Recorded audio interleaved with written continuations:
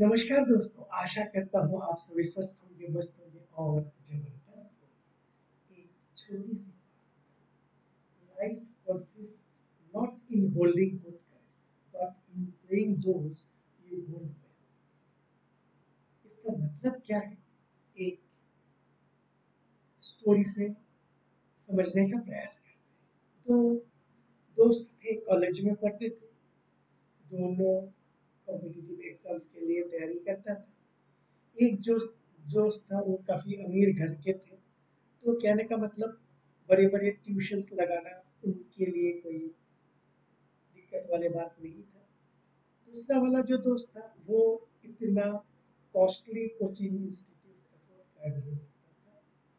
इसके लिए उसका यही प्रयास था कि कॉलेज के क्लासेस में जो भी पढ़ाया जाए, जो भी समझाया जाए कितने अच्छे तरीके से मैं उसको समझूं, उसका नोट्स बनाऊँ, उसको फिर घर में जाके और बढ़िया तरीके से उसका प्रेजेंटेशन करूँ और वो उसी काम पे लगा कॉलेज में क्लासेस होता था डिफरेंट प्रोफेसर्स एंड लेक्चरर्स आते थे, किस किस टॉपिक में लेक्चर्स देते थे, वो पूरा का पूरा तैयारी करता था। फिर लाइब्रेरी में जाकर जो भी अवेलेबल किताबें हैं, उसको पढ़ाई करता था रेफर करता था नोट बनाता था।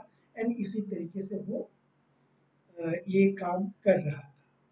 दूसरा जो दोस्त है जो अमीर घर के थे, उस दोस्त का ये मानना था कि इतना मेहनत करके क्या फ़ायदा कॉलेज में। मैं अगर उस बढ़िया सा कोचिंग इंस्टीट्यूट में दाखिला ले लेता हूँ, वो लोग मेरे बिहार पे जितने भी बढ़िया बढ़िया नोट्स है, वो बना लेंगे और मेरे को दे देंगे।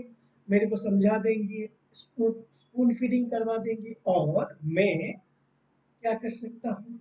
मैं उसके बाद अच्छी तरह से पास आउट हो सकता इसके चक्कर में वो दोस्त कॉलेज के क्लासेस में ध्यान नहीं देता था। अटेंड करता था, लेकिन इधर उधर के बातें इधर उधर के सोचना टाइम पास करके कॉलेज का क्लासेस का टाइम स्पेंड करता उसके बाद जब उसको ट्यूशन जाने का टाइम आता था, कभी वो लेट हो जाता था, कभी वो रास्ते में किसी दोस्त के साथ गप्पे मारने लगते थे, उसके बाद आगे ट्यूशन में चले भी जाते थे तो वो वहाँ पे ज़्यादा ध्यान नहीं देता इसके कारण क्या हुआ? ना ही उसका कॉलेज क्लासेस से उसका कोई बढ़िया सा तैयारी हो रहा था, ना ही कोचिंग इंस्टीट्यूट जो one of the best institute था, उस एरिया का, उस लोकेलिटी का वहाँ पे दाखिला, महँगा महँगा फ़ीस देके दाखिला लेने के बावजूद भी उसको वो यूटिलाइज कर नहीं पा रहा था। वैसे ही दिन चल रहा था। जब फाइनली कॉम्पिटिटिव एग्ज़ाम हो गया एंड उसका रिज़ल्ट निकलने का टाइम आया तो क्या हुआ? रिज़ल्ट निकला। जो दोस्त महँगा कोचिंग अफोर्ड नहीं कर सकता था, उसका रिज़ल्ट आया। वो अव्वल नंबर पे सिलेक्शन हो गया। दूसरा दोस्त जो काफ़ी अमीर घर के थे और जिसको मानना था कि कोचिंग इंस्टीट्यूट में पढ़ाई करने से अपना पढ़ाई बहुत अच्छे से हो जाएँगे, उसने क्या किया? उसका सिलेक्शन उसका कारण क्या है? ना ही वो कॉलेज का जो अवेलेबल रिसोर्सेस था लाइब्रेरीज थे एग्जिस्टिंग प्रोफेसर थे, उन लोगों से कोई भी हेल्प लेने में असक्षम था इनकेपेबल था। और उसका जो कोचिंग इंस्टीट्यूट का जो मटेरियल था या लेक्चर्स थे या प्रेजेंटेशन थे, वो भी वो सही तरीके से प्रिपेयर कर नहीं पाया।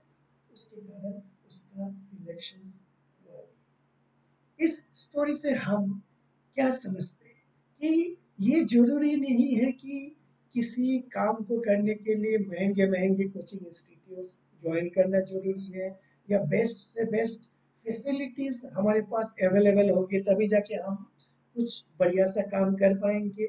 नहीं। हमारे पास जितने भी साधन अवेलेबल है, संसाधन अवेलेबल है, उस उस संसाधन को कितने अच्छे तरीके से हम अपने फेवर में यूज़ कर पाते हैं। दैट इज़ द मेन ये।